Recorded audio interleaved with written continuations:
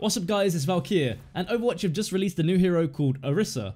Orisa was designed as an upgraded OR-15 protection bot by Efi to keep the people of Numbani safe. Orisa is a tank-based hero with 200 health and 200 armor.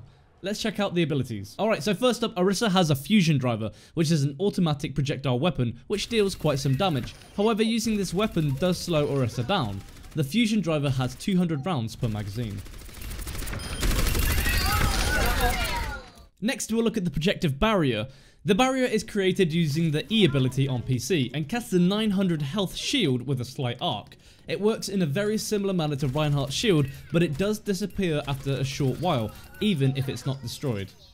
The Fortify ability gives Orisa a slight damage reduction for a short period of time and also states that she can't be slowed. This to me sounds as though a small counter to Mei's freeze gun.